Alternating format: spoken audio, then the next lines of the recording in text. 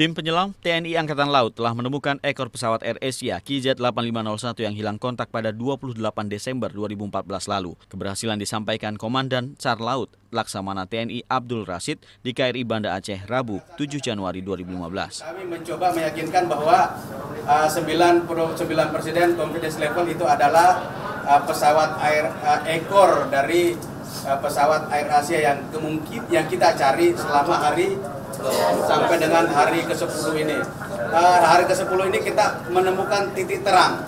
Ya, uh, mudah-mudahan uh, di dalam penyelam penyelam berikutnya yang kedua ini akan mengambil uh, observasi bawah air berikutnya Bagian belakang bangkai pesawat Airbus A320-200 ini ditemukan tenggelam di Laut Jawa dengan titik koordinat 3 derajat 36 menit 31 detik lintang selatan dan 109 derajat 43 menit 45 detik bujur timur.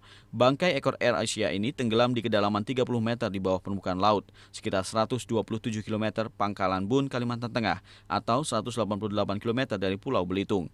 Penemuan ekor pesawat juga menimbulkan harapan untuk pencarian kotak hitam pesawat. Untuk tipe Airbus A300 200 letak kotak hitam atau black box memang ada di bagian belakang pesawat. Lewat akun Twitternya, tak kurang dari CEO AirAsia Tony Fernandes menggantungkan harapan pada penemuan ekor AirAsia KZ8501 hari Rabu.